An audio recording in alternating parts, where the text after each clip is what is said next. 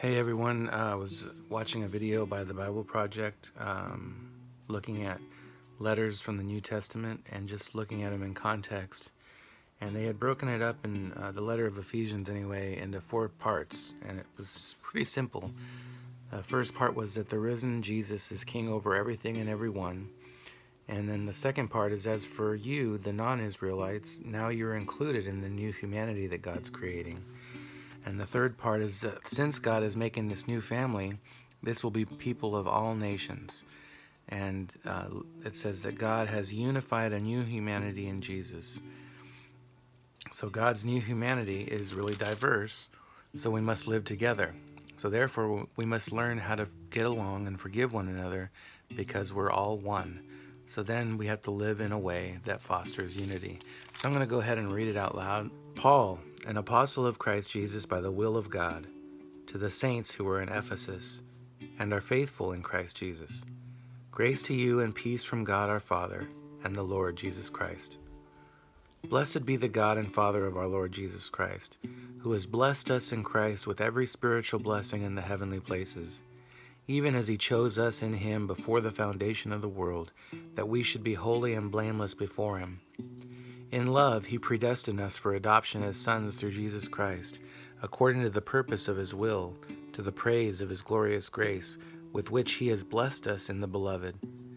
In him we have redemption through his blood, the forgiveness of our trespasses, according to the riches of his grace, which he lavished upon us in all wisdom and insight, making known to us the mystery of his will, according to his purpose which he set forth in Christ, as a plan for the fullness of time to unite all things in Him, things in heaven and things on earth. In Him we have obtained an inheritance, having been predestined according to the purpose of Him who works all things according to the counsel of His will, so that we, who were first to hope in Christ, might be to the praise of His glory. In Him you also, when you heard the word of truth, the gospel of your salvation, and believed in Him, were sealed with the promised Holy Spirit who is the guarantee of our inheritance until we acquire possession of it, to the praise of his glory. For this reason, because I have heard of your faith in the Lord Jesus and your love toward all the saints, I do not cease to give thanks for you, remembering you in my prayers, that the God of our Lord Jesus Christ, the Father of glory, may give you the spirit of wisdom and revelation in the knowledge of him, having the eyes of your heart enlightened, that you may know what is the hope to which he has called you what are the riches of his glorious inheritance in the saints, and what is the immeasurable greatness of his power towards us who believe? According to the working of his great might that he worked in Christ when he raised him from the dead and seated him at his right hand in the heavenly places, far above all rule and authority and power and dominion, and above every name that is named, not only in this age, but also in the one to come. And he put all things under his feet and gave him as head over all things to the church, which is his body, the fullness of him who fills all in all. And you were dead in the trespasses and sins in which you once walked, following the course of this world, following the prince of the power of the air, the spirit that is now at work in the sons of disobedience, among whom we all once lived in the passions of our flesh carrying out the desires of the body and the mind, and we were by nature children of wrath, like the rest of mankind. But God, being rich in mercy, because of the great love with which He loved us, even when we were dead in our trespasses, made us alive together with Christ. By grace you have been saved and raised us up with him and seated us with him in the heavenly places in Christ Jesus, so that in the coming ages he might show the immeasurable riches of his grace and kindness toward us in Christ Jesus. For by grace you have been saved through faith, and this is not your own doing, it is the gift of God, not a result of works, so that no one may boast. For we are his workmanship, created in Christ Jesus for good works, which God prepared beforehand that we should walk in them. Therefore, remember that at one time you Gentiles in the flesh, called the uncircumcision by what is called the circumcision, which is made in the flesh by hands, remember that you were at that time separated from Christ, alienated from the commonwealth of Israel, and strangers to the covenants of promise, having no hope and without God in the world. But now in Christ Jesus, you who once were far off have been brought near by the blood of Christ. For he himself is our peace, who has made us both one and has broken down in his flesh the dividing wall of hostility, by abolishing the law of commandments expressed in ordinances, that he might create in himself one new man in place of the two, so making peace, and might reconcile us both to God in one body through the cross, thereby killing the hostility. And he came and preached peace to those who were far off, and peace to those who were near. For through him we both have access in one spirit to the Father. So then you are no longer strangers and aliens, but you are fellow citizens with the saints and members of the household of God, built on the foundation of the apostles and prophets, Christ Jesus himself being the cornerstone, in whom the whole structure being joined together grows into a holy temple in the Lord. In him you also are being built together into a dwelling place for God by the Spirit. For this reason, I, Paul, a prisoner for Christ Jesus on behalf of you Gentiles, assuming that you have heard of the stewardship of God's grace that was given to me for you, how the mystery was made known to me by revelation, as I have written briefly. When you read this, you can perceive my insight into the mystery of Christ, which was not made known to the sons of men in other generations, as it has now been revealed to his holy apostles and prophets by the Spirit. This mystery is that the Gentiles are fellow heirs members of the same body, and partakers of the promise in Christ Jesus through the gospel. Of this gospel I was made a minister according to the gift of God's grace, which was given me by the working of his power. To me, though I am very the least of the saints, this grace was given to preach to the Gentiles the unsearchable riches of Christ, and to bring to light for everyone what is the plan of the mystery hidden for the ages in God who created all things so that through the church the manifold wisdom of God might now be made known to the rulers and authorities in the heavenly places. This was according to the eternal purpose that He has realized in Christ Jesus our Lord, in whom we have boldness and access with confidence through our faith in Him. So I ask you not to lose heart over what I am suffering for you, which is your glory. For this reason I bow my knees before the Father, from whom every family in heaven and on earth is named that according to the riches of his glory he may grant you to be strengthened with power through his Spirit in your inner being, so that Christ may dwell in your hearts through faith, that you, being rooted and grounded in love, may have strength to comprehend with all the saints what is the breadth and length and height and depth, and to know the love of Christ that surpasses knowledge, that you may be filled with all the fullness of God. Now, to him who is able to do far more abundantly than all we can ask or think, according to the power at work within us, to him be glory in the church and in Christ Jesus throughout all generations, forever and ever. Amen. I, therefore, a prisoner for the Lord, urge you to walk in a manner worthy of the calling to which you have been called, with all humility and gentleness, with patience, bearing with one another in love, eager to maintain the unity of the Spirit and the bond of peace. There is one body and one Spirit just as you were called to the one hope that belongs to your call one Lord, one faith, one baptism, one God and Father of all, who is over all and through all and in all. But grace was given to each one of us according to the measure of Christ's gift. Therefore it says, When he ascended on high, he led a host of captives, and he gave gifts to men. In saying he ascended, what does it mean but that he had also descended into the lower regions, the earth? He who descended is the one who also ascends far above all the heavens, that he might fill all things. And he gave the apostles, the prophets, the evangelists, the shepherds, and teachers to equip the saints for the work of ministry, for building up the body of Christ, until we all attain to the unity of the faith and of the knowledge of the Son of God to mature manhood, to the measure of the stature of the fullness of Christ, so that we may no longer be children tossed to and fro by the waves and carried about by every wind of doctrine, by human cunning, by craftiness and deceitful schemes.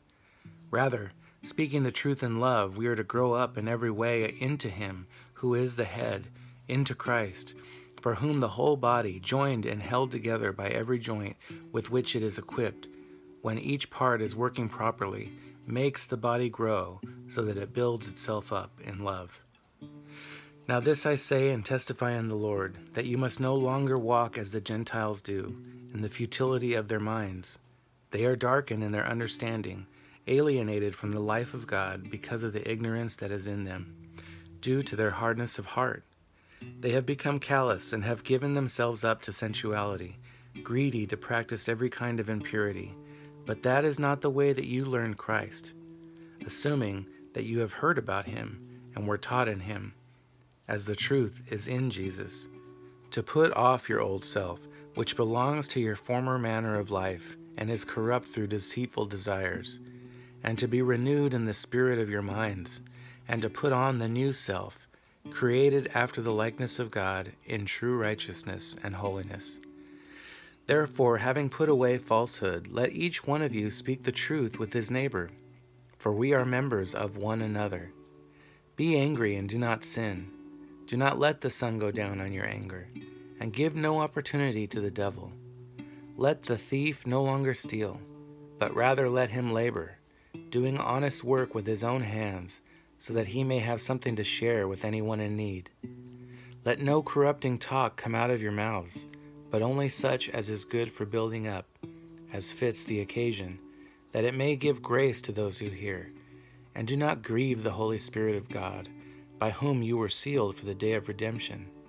Let all bitterness and wrath and anger and clamor and slander be put away from you, along with all malice. Be kind to one another, tender hearted, forgiving one another, as God in Christ forgave you. Therefore be imitators of God as beloved children, and walk in love as Christ loved us and gave himself up for us, a fragrant offering and sacrifice to God. But sexual immorality and all impurity or covetousness must not even be named among you, as is proper among saints. Let there be no filthiness, nor foolish talk, nor crude joking, which are out of place, but instead let there be thanksgiving. For you may be sure of this, that everyone who is sexually immoral or impure, or who is covetous, that is, an idolater, has no inheritance in the kingdom of Christ and God. Let no one deceive you with empty words, for because of these things the wrath of God comes upon the sons of disobedience. Therefore do not become partners with them, for at one time you were darkness, but now you are light in the Lord. Walk as children of light. For the fruit of light is found in all that is good and right and true. And try to discern what is pleasing to the Lord. Take no part in the unfruitful works of darkness, but instead expose them. For it is shameful even to speak of the things that they do in secret. But when anything is exposed by the light, it becomes visible. For anything that becomes visible is light. Therefore it says, Awake, O sleeper, and arise from the dead and Christ will shine on you. Look carefully then how you walk, not as unwise, but as wise, making the best use of the time, because the days are evil. Therefore do not be foolish, but understand what the will of the Lord is. And do not get drunk with wine, for that is debauchery, but be filled with the Spirit, addressing one another in psalms and hymns and spiritual songs, singing and making melody to the Lord with your heart giving thanks always and for everything to God the Father in the name of our Lord Jesus Christ, submitting to one another out of reverence for Christ. Wives, submit to your own husbands as to the Lord.